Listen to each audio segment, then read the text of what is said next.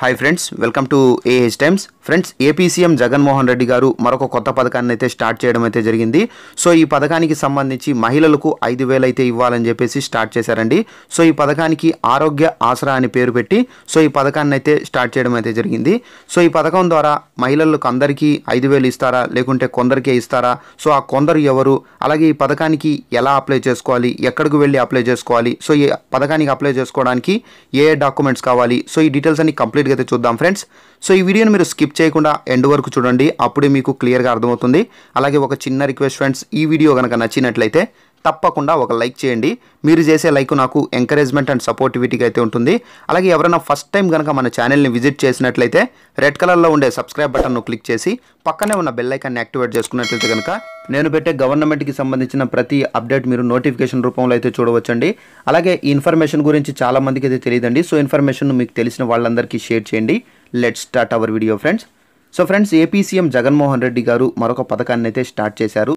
So ఈ పథకానికి ఆరోగ్య ఆసరా అనేసి పేరు పెట్టడం అయితే జరిగింది. సో ఈ పథకం ద్వారా ఎవరైతే మహిళలు ఉంటారో సో వాళ్ళకి ఏంటంటే ఐదు వేలు అయితే ఉన్నారండి సో ఆ మహిళలు ఎవరంటే సో ఎవరైతే గర్భిణీ స్త్రీలు ప్రసవిస్తారో వాళ్ళకి ఐదు వేలు అయితే ఇవ్వాలని చెప్పేసి ఏపీ సీఎం జగన్మోహన్ రెడ్డి గారు ఈ పథకాన్ని అయితే స్టార్ట్ చేయడం అయితే జరిగింది. సో ఈ పథకానికి సంబంధించి మీకు ఏ డాక్యుమెంట్స్ ఉండాలంటే మీకు ఆరోగ్యశ్రీ కార్డు అనేది కంపల్సరీగా అయితే ఉండాలండి. సో ఆ కార్డు ఉన్నట్లయితేనే మీకు ఈ ఐదు వేలు అనేది ఇవ్వడం అయితే జరుగుతుంది. సో ఒకవేళ మీకు ఆ కార్డు రాకపోతే మీరు వెంటనే అప్లై చేసుకోండి.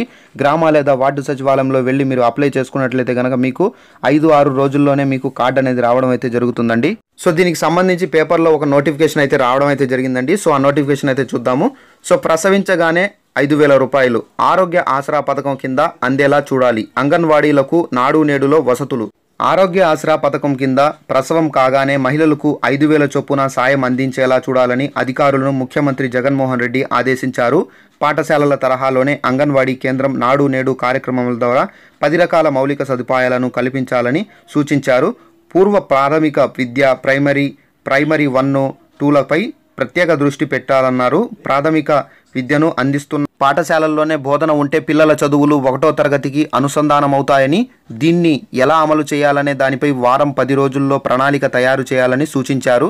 అంగన్వాడీల్లో నాడు నేడు వైఎస్ఆర్ సంపూర్ణ పోషణపై ముఖ్యమంత్రి జగన్ తాడేపల్లి క్యాంపు కార్యాలయంలో సమీక్షించారు. విద్యాశాఖ అధికారులతో చర్చించి P P one P P two బోధనాంశాలపై నిర్ణయం తీసుకోవాలి. పిల్లల్లో అభ్యసన నైపుణ్యాల కోసం పరికరాలు ప్రత్యేక పుస్తకాలు రూపొందించాలి. టీవీని అందుబాటులో ఉంచాలి. సొంత భవనాలు లేని చోట కొత్త కట్టాలి. సో ఉన్న చోట మౌలిక వసతులు కల్పించాలి అని ఆదేశించారు. సో ఫ్రెండ్స్ ఈ ఐదు వేలు అనేది మనకి ఎవరైతే ప్రసవిస్తారు కదా గర్భిణీ స్త్రీలు ప్రసవిస్తారు కదా సో వాళ్ళకి ఏంటంటే ఈ ఐదు వేల అమౌంట్ అనేది అక్కడికక్కడే వాళ్ళకు ఇవ్వడం అయితే జరుగుతుందండి. అలాగే అంగన్వాడీ కేంద్రాలకు సంబంధించి వైఎస్ఆర్ పోషణ వైఎస్ఆర్ సంపూర్ణ పోషణ ప్లస్ అని చెప్పేసి రెండు పథకాలు అయితే ప్రారంభించడం అయితే జరిగింది. సో ఈ పథకాల ద్వారా ఏంటంటే కోడి గుడ్లు అలాగే చిన్నపిల్లలకు సంబంధించి కొన్ని ఐటమ్స్ అయితే ఇవ్వడం అయితే జరుగుతుందండి. సో దానికి సంబంధించి కూడా మీటింగ్లు అయితే మాట్లాడడం అయితే జరిగింది. అలాగే అంగన్వాడీ కేంద్రాల్లో ఏంటంటే టీవీని అందుబాటులో ఉంచాలని టీవీ ద్వారా బోధనలు పీపీ వన్ పీపీ టూ అనే బోధనాంశాలపై నిర్ణయం అయితే తీసుకోవాలని చెప్పేసి కూడా నిన్న మాట్లాడడం అయితే జరిగింది.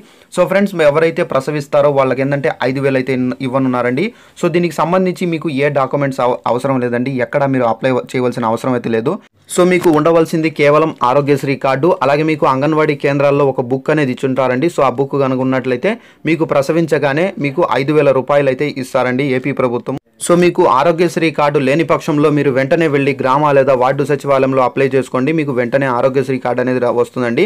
సో ఫ్రెండ్స్ నేను ఈ యొక్క అప్డేట్ గురించి చెప్పడానికి ఒక వీడియోనే చేస్తున్నాను. ఫ్రెండ్స్ ఈ వీడియో కనుక నచ్చినట్లయితే తప్పకుండా లైక్ చేసి అలాగే మన ఛానల్ని సబ్స్క్రైబ్ చేసుకోకపోతే వెంటనే సబ్స్క్రైబ్ చేసుకొని పక్కనే ఉన్న బెల్ ఐకాన్ యాక్టివేట్ చేసుకోండి.